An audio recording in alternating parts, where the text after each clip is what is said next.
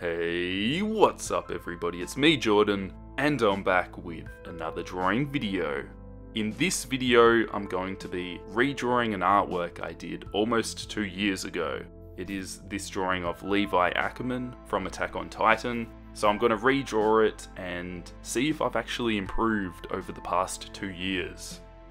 Hopefully I have, because that would be pretty depressing if I haven't. Two years well spent practicing. Before I get on with the drawing, this video is sponsored by Massdrop. I don't know why I made that voice. I should probably be more serious for a sponsored video, otherwise I'll get in trouble.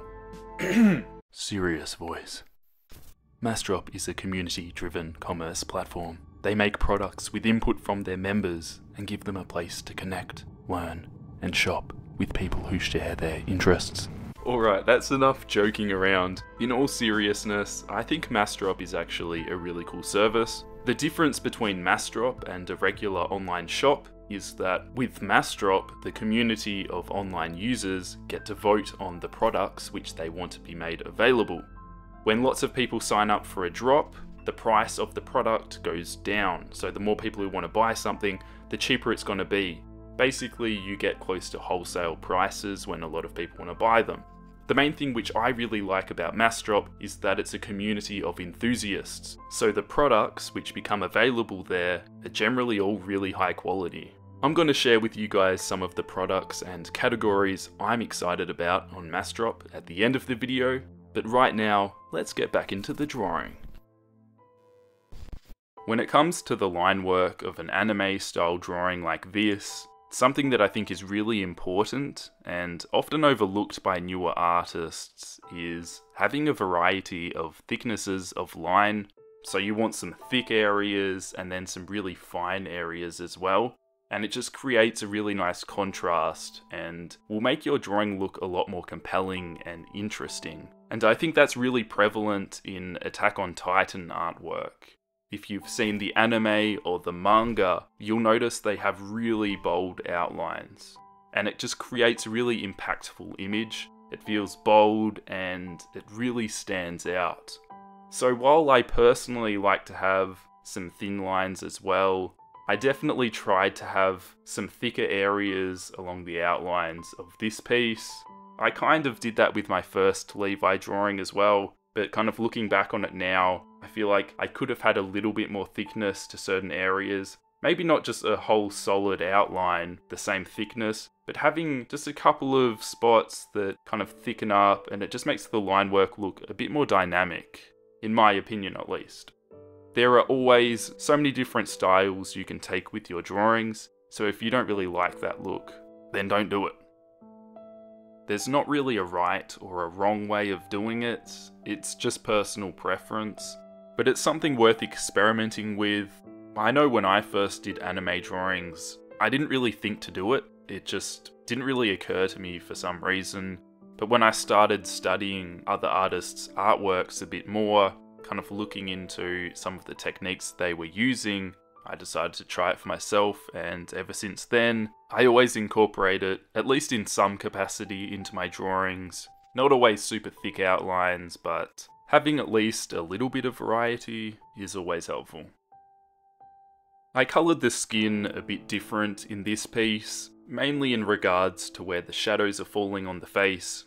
This time around he's got the shadow on the left side of his face, and I kind of brought in purples throughout the whole piece. I just felt like it creates a really interesting look. I really like purples and I think they work really well in shadows instead of just using a black. Having the strong shadows on the side of his face creates more depth to the artwork. You've got the highlights on the right side of his face where it's nice and pale, and then that contrasts really well with the shadows on the left hand side. It just makes the drawing look a lot more 3D and depending on what style you're going for, that can be really effective with anime style drawings. I think it also works well because he's got a really dark, brooding look, and having the shadows just really complements that and sticks with the dark theme of the piece. When it comes to colouring blood, I feel like I have refined those techniques that I use since my previous drawing. It's a lot grittier, a bit darker as well.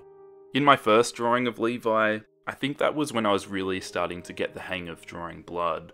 Since then, I've just tweaked it a little bit. I think I generally draw it a little bit darker, but apart from that, it's pretty close.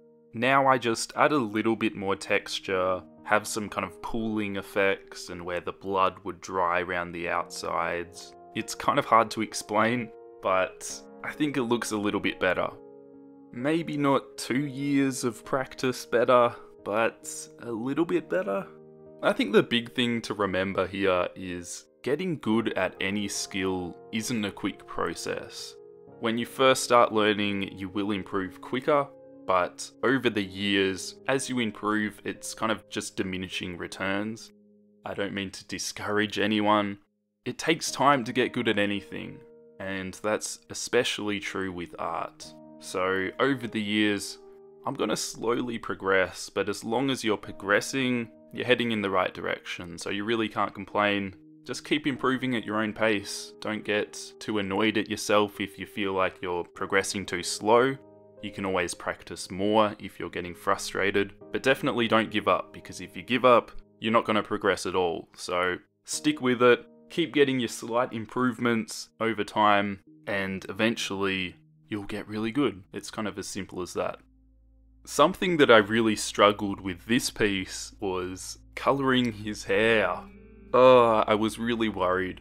You'll notice I skipped out a bunch of the process. First, I started by doing the highlights under his hair, kind of the oranges and purples, that type of thing, and then I go over it with black.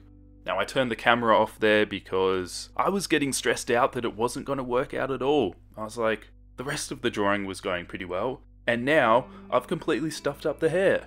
Great. So I managed to kind of fix it up, salvage it. It looks pretty okay by the end of it, but it was a rough process, and I was really worried. I did remember the same thing happened the last time I drew Levi, so I didn't worry too much. I figured I'd be able to fix it up and it'd look fine by the end of it. That's just kind of the artistic process sometimes. You need to trust yourself that it's all going to come together by the end. A lot of my artworks look really ugly in the kind of middle stages, and it's not until you add the last shading bits, you add the highlights, you smooth it all out, and then it all comes together. So if you're the type of person who gives up on a lot of drawings halfway through, I definitely recommend to just try and stick it out and finish it because the amount of times I've been surprised at an artwork which I thought was kind of doomed and looked like it was going to turn out terribly actually came together really nicely by the end. That's given me a lot of confidence throughout all these drawings. Because I make these videos for you guys, I know that I have to get the drawings done. I can't just procrastinate and set them aside and not finish them. As soon as I start colouring them, I commit myself to finishing it. I do have a bunch of line works which I have not coloured yet. But that's a different story. When I start colouring it, then I always finish it. So don't judge me. I know there's a bunch of people who keep requesting me to finish these certain line works. It's probably not going to happen. Maybe one day. Maybe one day there's still hope. But not much hope, let's be honest. There are a few different stylistic choices you'll notice reoccurring in a bunch of my newer drawings, like the dripping effects and the smoky effects in the background, I also like to use my white gel pen to do highlights and add more texture. That's just something that I really like the look of, having a grimy textured look. I try to incorporate that into all of my drawings now, and I think it really distinguishes my drawings from a bunch of the other fan art out there. I'm definitely not saying mine is better or anything like that, I just want people to be able to look at my artwork and recognize that it's a Jordan Persegati artwork. It's just nice to have a certain consistency throughout your art portfolio. That definitely doesn't mean don't try different styles and sometimes do something completely different to your regular style. Not at all, but I definitely like to have a certain consistency, at least in the quality of the artworks. So to wrap this video up, I think I have improved, at least a little bit, but the big way that I actually have noticeably improved is the speed in which I do these drawings. My art process is so much quicker than it used to be, say five years ago, two years ago. I know what techniques to use, I know what colours work well together, and all these little things just speed up the drawing process a lot more. I don't have to stop and think for a long time trying to figure out what's going to work, how I'm going to do this. I just kind of know from experience, and that's something I'm still going to speed up even more. As you gain knowledge of your craft, confidence comes with that. With confidence, speed comes with that, and it just feels a lot more natural so don't be frustrated when you start out and you feel like all your drawings take ages to finish. Art isn't a quick process, but as you get better, it becomes quicker and less stressful. It just comes naturally to a certain extent. But to get to that natural state, you have to learn it the hard way, I guess. Learn through practice and applying those different techniques. I hope this video is encouraging. While it might not look like I've improved that much over the past two years, it was a little bit less than two years, but two years sounds better in the title, so we're going with that. I still have improved and I want to encourage you guys to keep practicing and don't give up if you feel like you haven't improved that much over the year. Over time, you'll notice a difference. So best of luck with all your art. I've got heaps more drawing videos coming, Quickly before I end the video, I just want to thank Massdrop again for sponsoring the video. It really helps my channel out and I also appreciate you guys who are understanding of that when I do sponsored videos. My three favourite categories on Massdrop are the audiophile headphones section where they have really awesome headphones. I love listening to music when I draw and also for you guys who are into my creepy pasta videos, having amazing audio with a good set of headphones makes all the difference. It's worth investing in. Trust me, you won't regret it if you get a good set of headphones. Another category which I really like at the moment is the hobbies section. I've really been into board games lately, so it's kind of fun to scout that out and see when new drops are happening, if some new board games are out.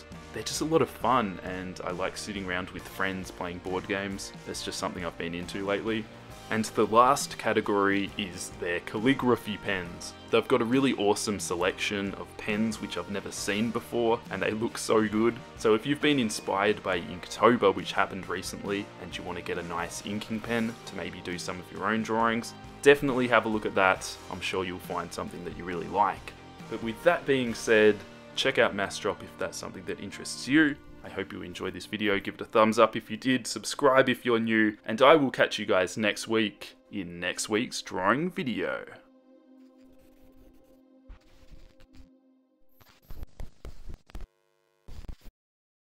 Drawing, which doesn't look so bland because you've only got three colours.